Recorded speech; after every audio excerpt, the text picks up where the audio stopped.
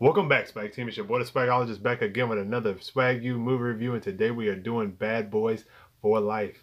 And I enjoyed this film. I had a good time with it. It was a lot of laughs. We got Mike Lowrey and Marcus back again on another whirlwind adventure, and I love it. Ain't no stopping us now.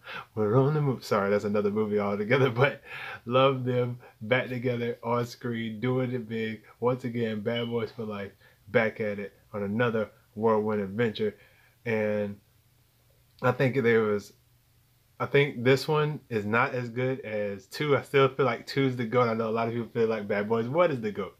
I feel like the best one is Bad Boys Two. It's a lot more funny, a lot more action, and the chemistry between Martin and Will have never been better. But Martin and Will are back at it again, doing it perfectly in this film.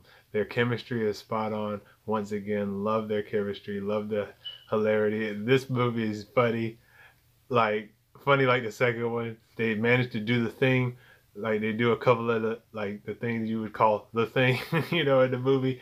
You know what I'm saying? I love that they they brought back a lot of the bad boyisms. You know what I'm saying?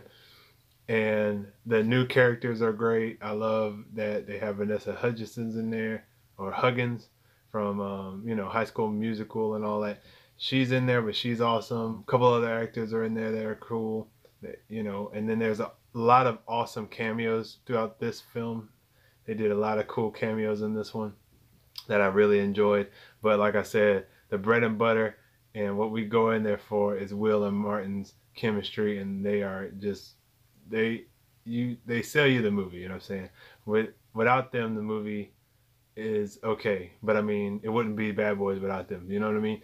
So I'm glad that they decided to do this. I enjoyed it. It's a great story. I like the story that they had for like this movie, like the story for Bad Boys, the continuation. To it, it had a legit reason to be another movie. And there was a couple of times that I was gonna throw the movie in the trash for doing something that was just retarded. Like what? Like I'm done. I'm done. And then is like, nah. and I was like, okay, all right, all right. Yeah, yeah, I was about to say, you was about to get thrown in the trash. He was like, I was I was at the trash can. I flipped the lid up. And I was, I was about, to, but then y'all said, I, I, we just playing. And I was like, okay, okay.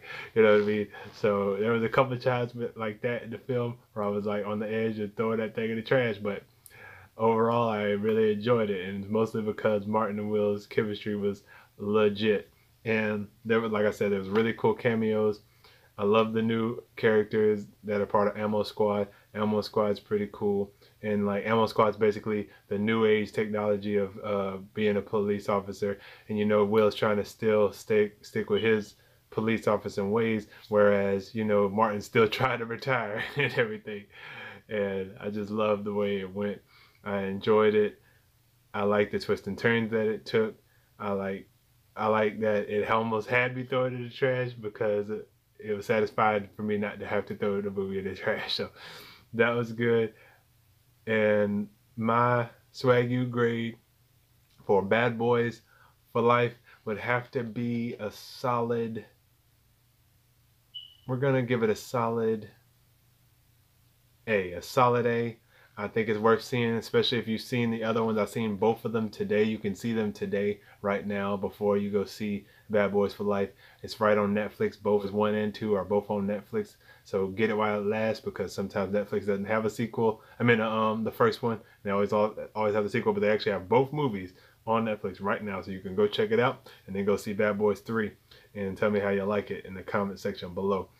Also, if you're new here and you're trying to join the swag team, make sure you hit the subscribe button down below or hit it right here when it pops up on the side. Also, if you want to be the first of the swag team to see a video when it pops up on YouTube, make sure you hit that subscribe button first, join the swag team, then that notification bell will slide on over and you click that ding, and you never miss a video pops up on the channel, whether it's on your cell phone, computer, tablet, whatever. So make sure you do that so you don't miss any of the swag when I post it.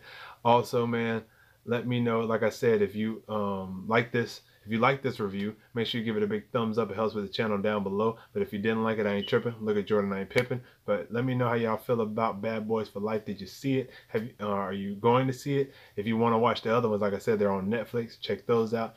Go see the movie and let me know how you feel about it in the comment section below and on the social media sites. Until the next video, I love y'all 3000. I'll holla. Peace.